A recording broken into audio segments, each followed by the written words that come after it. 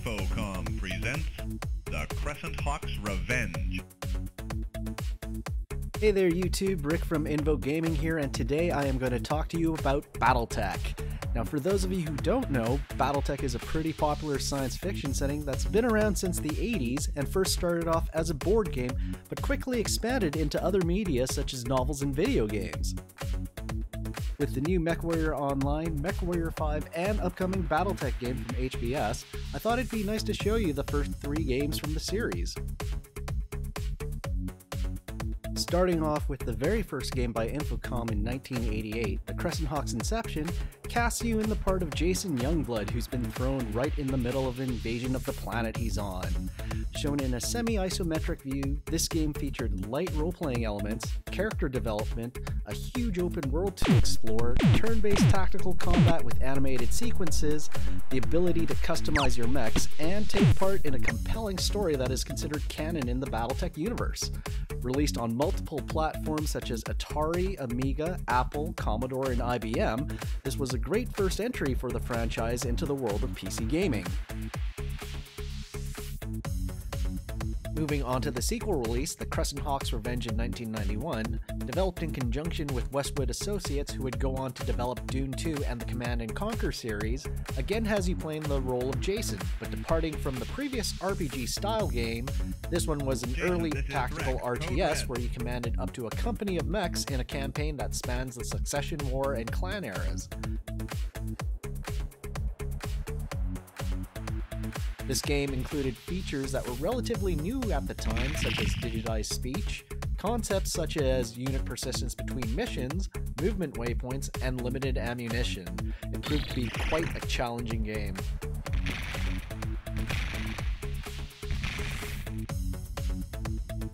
And finally, we have the original MechWarrior developed by Activision in 1989, and a franchise that is still going strong with MechWarrior Online and the just announced MechWarrior 5.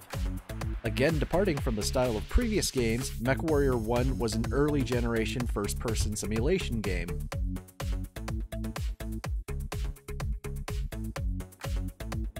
Set near the end of the Third Succession War, you play the part of a mercenary who is hunting for the people that killed his family.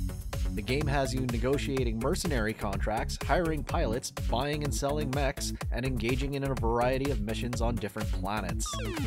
The graphics, although pretty simplistic, captured the imagination of older folks such as myself back then. Okay, let's take a look at the boxes now. So, start off with the first one, cover art as seen earlier. Back, we've got a description and screenshots. Now, what always uh, bothered me about uh, this screenshot here is I've completed the game, and on subsequent playthroughs, I just can't figure out how the hell they managed to get four mechs and like eight guys on the team. Because there's absolutely no way. The most I ever got was three mechs and five guys total, including the pilots. So let's open it up. Uh, you're gonna have to ignore the fact that I lost the original discs. Uh, you had to make uh, a player's disc and a data disc on the Commodore, and I can't remember where the uh, original disc went. So I have the manual, which you needed for copy protection, because uh, you'd have uh, an exam that would ask you what part is this on this mech, refer to that. What's also interesting is they included a second copy protection at near the end of the game, so you couldn't finish the game unless you had the manual. And you needed to refer to this map.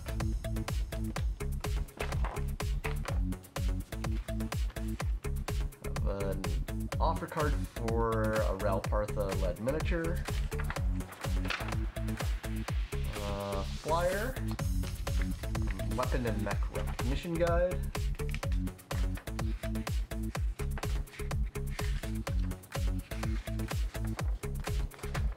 Of hand-drawn art in this stuff. Reference guide. And a very, very, very nice poster.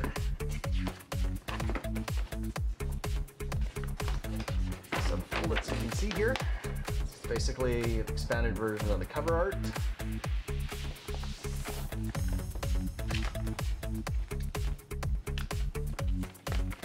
Fold out flyer for Battletech products.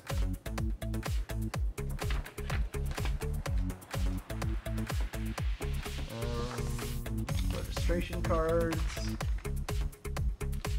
and an Infocom catalog. Uh, they were best known for their text adventures.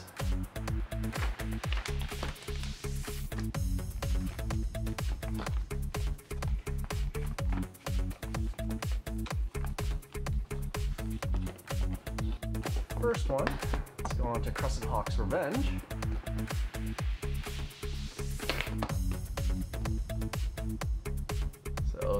Just IBM screenshots since this was only released on IBM.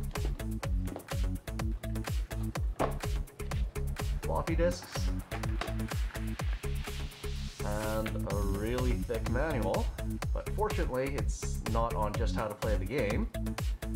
They also included stats on all the mechs in the game, and as you can see, there are a lot of mechs in here. So they pretty much took the entire 3025 technical readout and slapped it into the game.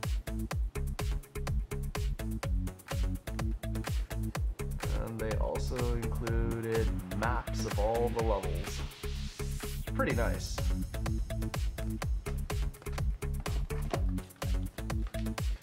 Again, another poster.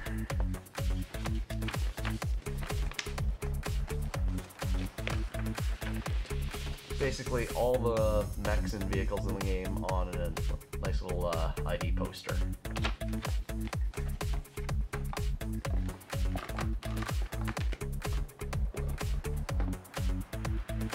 Finally on to MechWarrior. Nice cover art. Uh, pretty much a photograph of uh, a Warhammer model. Back. And IBM screenshots.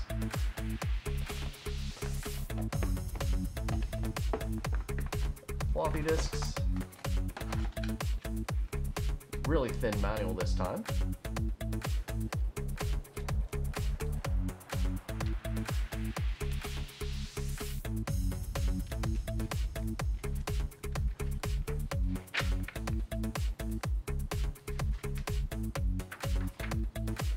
The only original design in here was the Jenner.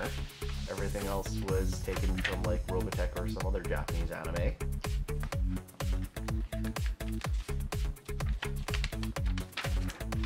A little mini poster slash flyer.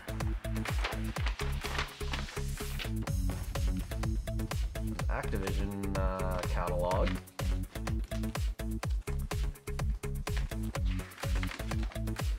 Affidavit of uh, Gideon Braver Vandenburg. So, sort of like a little mini short story.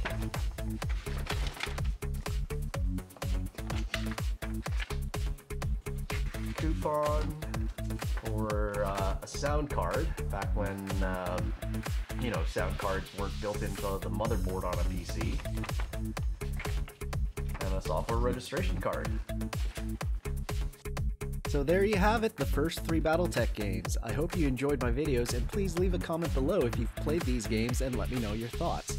And please like and subscribe to my channel and I'll see you next time.